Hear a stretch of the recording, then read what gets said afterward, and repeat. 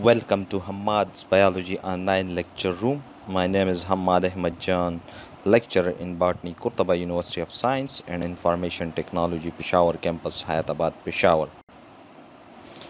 The topic of this video lecture is heavy metals pollution. It is the second part of this topic. Heavy metals and air pollution. Both natural and man made sources are responsible for increasing heavy metals in the air. Natural emissions come from wind-borne soil particles, volcanoes, forest fires, sea salt sprays, and biogenic sources. However, the anthropogenic sources of atmospheric emissions through diverse human activities exceed the natural fluxes from most metals.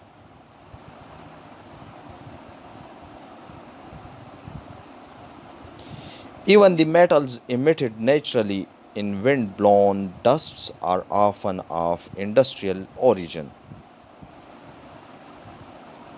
Some of the prominent sources of atmospheric pollution are burning fossil fuel to generate energy, automobile exhaust, insecticides, manufacturing of steel, smelting, etc.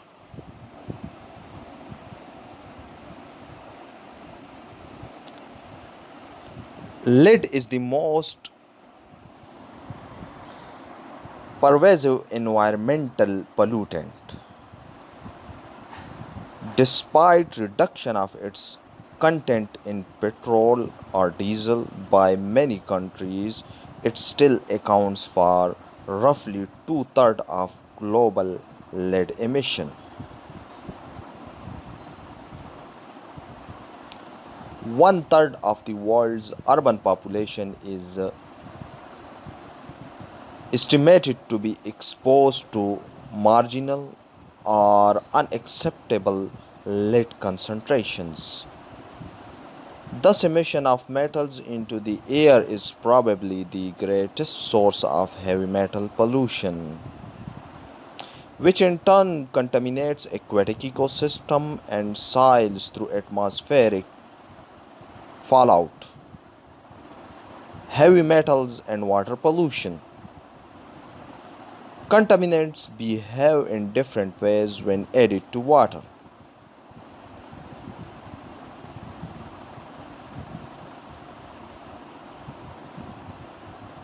Non conservative materials, including organics, some inorganics, and many microorganisms, are degraded by natural self purification processes so that their concentration is reduced with time.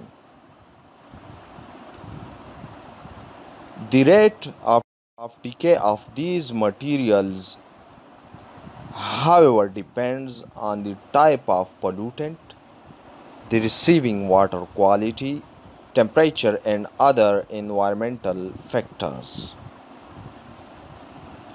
Many inorganic substances are not affected by natural processes and hence their concentration is reduced only by dilution.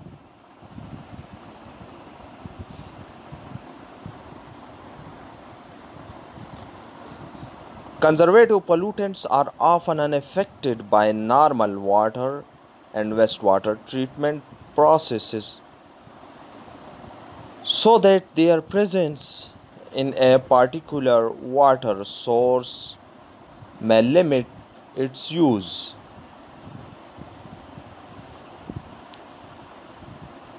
Most of these materials originate from industrial discharges and would include heavy metals from metal finishing and plating operations, insect repellents from textile manufacture, herbicides and pesticides, etc.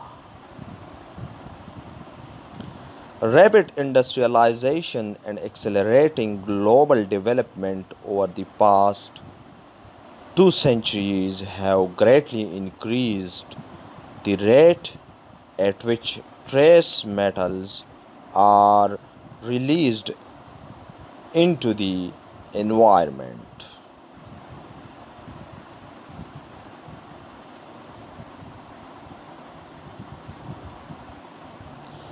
As a result, many of the freshwater bodies are becoming greatly altered.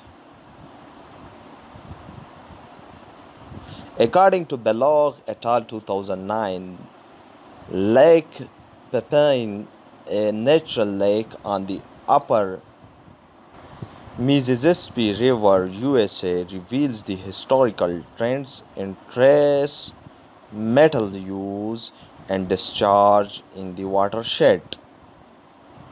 Both diffuse and point sources have contributed to trace metal loadings in the river and accumulation in the lake. Prior to European settlement, trace metals accumulating in the lake Pepin came primarily from diffuse natural sediment sources throughout the watershed. Later, with increasing human development in the watershed, municipal and industrial wastes added trace metal to the river and lake.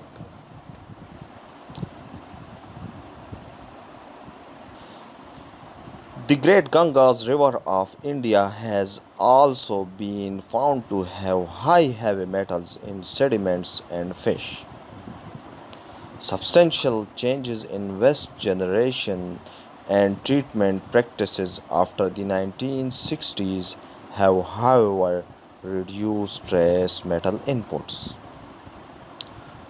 Arsenic is toxic and a known carcinogenic carcinogen whose self safe limit in drinking water in most countries is 10 to 50 milligram per liter. Despite similar mandates found in many countries, arsenic contamination remains a worldwide threat. Arsenic concentrations are higher in groundwater than in surface water, where the presence of arsenic is mainly due to dissolved minerals from weathered rocks and soils. Additionally, in groundwater from the areas surrounding and including Hanoi, Vietnam, arsenic concentrations have been found to range from 1 to 3050 milligram per liter with an average concentration of 159 milligram per liter.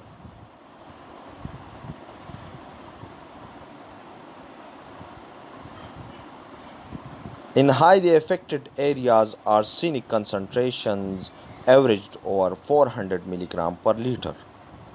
Water analyzed after treatment had concentrations ranging from 25 to 91 milligram per liter, but with 50% of wells tested still had over 50 milligram per liter arsenic. High arsenic concentration pose a chronic health threat to millions drinking contaminated water.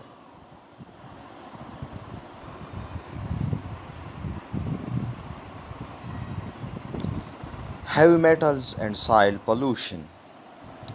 Rapid industrialization and subsequent expansion of the population have considerably increased industrial and municipal wastewater discharge and other pollutants in many countries. Soil is a major sink for heavy metals released into the environment. Many soils in industrialized countries are affected by acid deposition, mine waste, and organic refuses such as sewage sludge that introduce pollutants to the soil.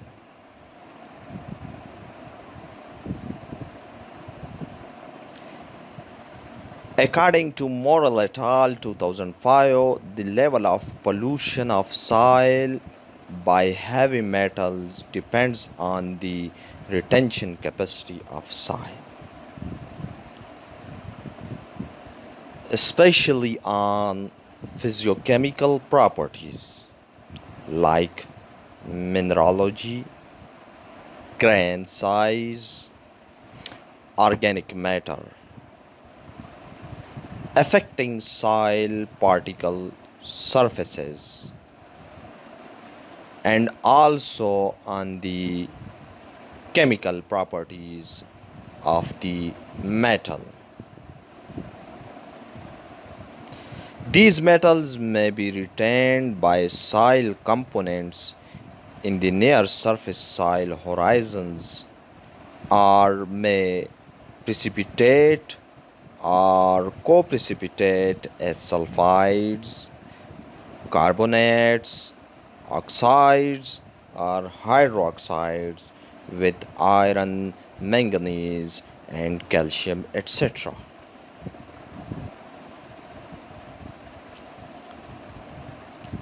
In arid zone, carbonate effectively immobilizes heavy metals by providing an absorbing or nucleating surface and by buffering pH at values where metal hydrolyze and precipitate. The mobility of trace metals reflects their capacity to pass from one soil component to another where the element is bound less energetically. The ultimate compartment being soil solution which determines the bioavailability. The distribution of metals among various compartments or chemical forms can be measured by sequential extraction procedures.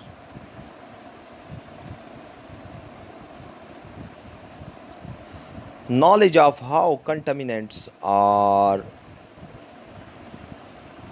partitioned among various chemical forms allows a better insight into degradation of soil and water quality following the input of metals around mining and metallurgical plants. Therefore, soils pollution by heavy metals occurring both on surface and in deeper layers of soil is of great concern for environmental quality control. The pattern of pollutant content is the synergistic result of mixed processes including diffusion of deposited airborne particulate matter fluvial deposition of contaminated sediments and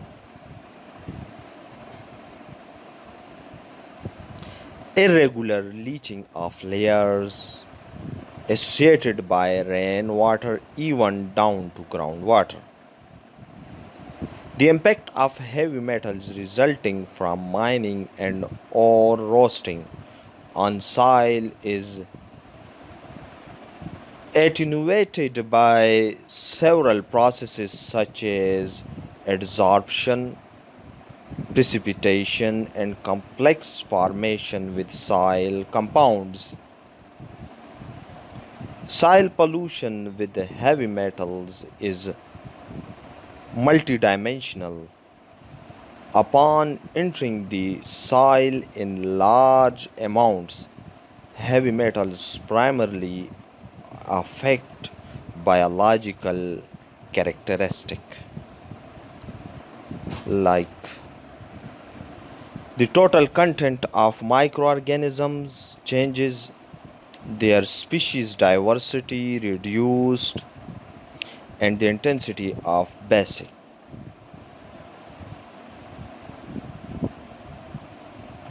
microbiological processes and the activity of soil enzymes decreases.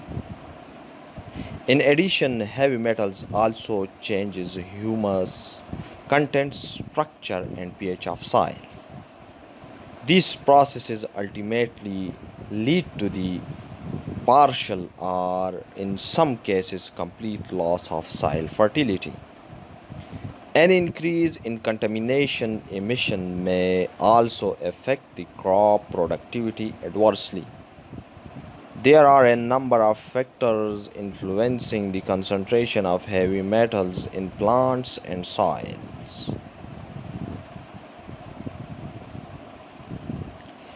These factors include climate, irrigation, atmospheric deposition, the nature of the soil on which the plant is grown and time of harvesting. Heavy metal contamination derived from anthropogenic sources is one of the severest. This can strongly influence their speciation and hence bioavailability.